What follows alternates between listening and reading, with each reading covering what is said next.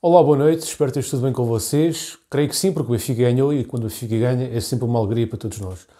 O Benfica ganhou 3-1 num jogo fora, num jogo que se previa difícil, porque o adversário portimonense vinha numa fase de retoma.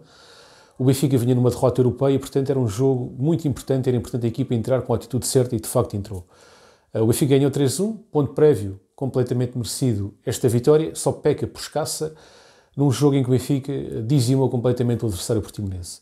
Mas começando aqui por falar do 11, tivemos aqui algumas novidades, nomeadamente as novidades foram Morato, eh, foi Florentino e foi David Neres. Portanto, o 11 foi Turbin, Freddy Costens, Morato, Otamendi, Bá, Florentino Coxo, João Mário, Rafa e David Neres na assistência a Peter Musa. O Benfica entrou muito bem, nomeadamente os primeiros 25 minutos foram avassaladores. O Benfica desossou completamente a defesa do Portimonense nos primeiros 25 minutos, onde fez completamente da defesa do Portimonense um rodízio faziam, queriam daquele, de, comeram completamente a defesa do Portimonense. E foi com naturalidade que aos 5 minutos Bá marca um grande gol de fora da área, um pontapé forte e bem colocado de Bá aos 5 minutos com assistência de Coxo. Bá parece querer responder às críticas dos adeptos com um grande golo e a ser ele a pessoa que inaugurou o marcador. Portanto, Bá, grande golo. Musa marcou aos 17 minutos, grande, grande passe de Coxo para Neres. Neres faz o cruzamento e Musa marca gol. Portanto, assistência de Neres, mas grande influência também de Coxo neste, neste gol. Portanto, Coxo está nos dois golos. Portanto, para vocês verem que o Coxo também está a progredir de jogo para jogo. Depois, hum, falando apenas dos golos, depois aos, aos 59 minutos, o Varela, que é um jogador que já tinha referido como bom, o Portimonense marca para o Portimonense e o Neres marca o 3 a 1 aos 66 minutos, um gol bem merecido de Neres com assistência de Rafa. Bom, eh, como eu vos disse, e não querendo ser repetitivo, os primeiros, 45, os primeiros 25 minutos foram completamente do Benfica. Houve uma ligeira reação do Portimonense, mais por mérito do Benfica do que propriamente por eh, mérito do Portimonense, porque também é natural que o adversário também crie oportunidades, porque são duas equipas que estão em campo. Mas, de qualquer forma, os 45 minutos só pecam por escassos os 2-0 aos 45 minutos. Porque o Benfica teve várias oportunidades, nomeadamente por Rafa, teve ali lances frente a frente do guarda-redes, que acabou por não marcar. Teve o mérito de acelerar o jogo, teve o mérito de progredir com bola em rapidez, mas depois teve o demérito de não conseguir finalizar. Uh, portanto, a segunda parte e a primeira parte foram o tipo, o tipo de jogo do Benfica foi de triangulações, portanto, o Benfica fazia pressão alta, ganhava a bola e tinha sempre uma, duas linhas de passe no mínimo para passar a bola. O portador da bola tinha sempre um jogador na vertical e outro na horizontal para passar e se fosse preciso também recuar a bola também tinha. O tipo de jogo de triangulações em que o portador da bola nunca deixa de ter uma linha de passe. E quando o Benfica conseguiu implementar o seu jogo, teve sempre por cima. E, basicamente, foi poucos períodos em que o Portimonense conseguiu, de facto, sair da sua defensiva.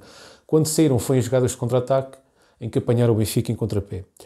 Em relação ao penalti que foi conquistado pelo Portimonense, foi um penalti em que o jogador do Benfica, o Morato, tem a mão encostada ao corpo, mas de facto mexe o antebraço. Tal como contra o Guimarães também, o nosso adversário tinha o braço colado ao corpo, mas, mas mexeu o antebraço num lado não foi marcado penalti, mas contra o Benfica já foi marcado penalti. Para a Liga dos Campeões também foi algo semelhante, portanto o braço encostado ao corpo, mas, mas o jogador mexeu o antebraço e não foi marcado penalti. Hoje eh, o Morato de facto tinha o braço encostado ao corpo, mas mexeu o antebraço e foi considerado penalti. E portanto é, há aqui uma dualidade de critérios, tendo em conta também, não falando do jogo da Liga dos Campeões, mas falando do jogo contra o Guimarães, que o Benfica ganhou por goleada. Uh, e portanto o, depois foi penalti e o, o nosso guarda-redes, o Turbin, faz uma grande defesa, portanto espera até o momento final em que o jogador chuta e prevê, e portanto adivinha ao lado e defende. Portanto é isso mesmo que tens de fazer, Turbin. Portanto o Turbin, salvo erro, já é o quarto penalti que tem para defender. Dois sofreu, um foi por cima e desta vez defendeu o penalti. Desta vez não cometeu o mesmo erro de lançar-se antes do jogador chutar, esperou, fez bem, defendeu, porreiro. Turbin, grande jogo. Este jogo parece que foi no fundo a revolta dos jogadores criticados. Turbin foi fortemente criticado, Bá também, e foram dois jogadores importantíssimos hoje. Um porque marcou o primeiro gol do jogo e outro porque fez uma grande defesa, um, portanto, fez uma grande defesa no penalti e teve muito bem também a sair-se da baliza. Teve ali lances, nomeadamente da primeira parte, onde, onde saiu-se da baliza e saiu-se bem, tanto com os pés como a saída cruzamentos com os braços. Portanto, uh, Turbin ganhou ganhou confiança de uma semana para outra, portanto o trabalho que fizeram com o jogador de adquirir confiança foi muito positivo. Os adeptos também tiveram muito bem a puxar pelo jogador e não deixá-lo cair. E Turbin respondeu e já não está tão nervoso.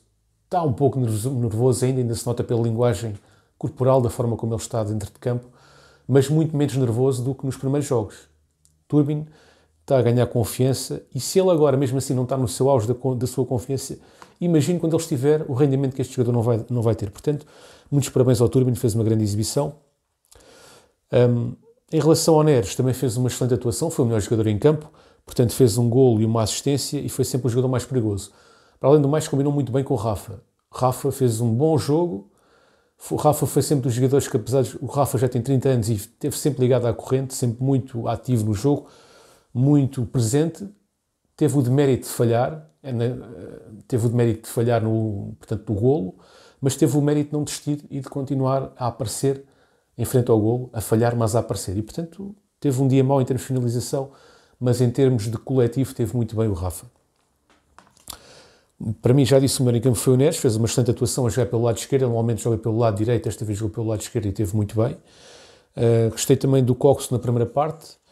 De referir também as substituições, esqueci-me de dizer, quer dizer, na, à passagem do, do intervalo, saiu o Bá, entrou o Jurasek, portanto o Freddy Costa se passou para o lado direito e o Jurasek jogou na sua posição de origem, defesa esquerda.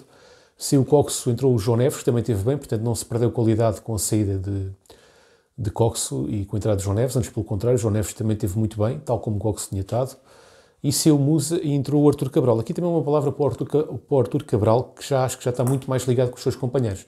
Foi perdulário, mas em termos de jogo coletivo já está a aparecer já está a conseguir ter ali uma dinâmica interessante com os seus colegas de setor e prevejo que este jogador possa vir um, nos próximos jogos a dar-nos alegrias. Entrou também, durante o jogo, entrou o, o Casper Tiexted e o Tomás Araújo. Portanto, foram estes os jogadores que entraram na segunda parte. Gostaria também de saber a vossa opinião, para vocês, quem é que foi os melhores jogadores em campo, se houve algum jogador que vocês não gostaram. Eu não dou nota negativa a ninguém, acho que a equipa do Benfica teve bem. Um, Notas positivas, para mim, não sendo repetitivo, para mim, David Neres, uh, principalmente, e Turbin, também aqui um prémio moral ao Turbin por ter conseguido corresponder neste jogo que teve aqui algumas incidências que poderiam se tornar complicadas e não se tornaram porque o Turbin teve a altura. Um, e pronto, basicamente é isto, pessoal. Muito obrigado por terem assistido ao vídeo. Forte abraço, até uma próxima e viva o Benfica!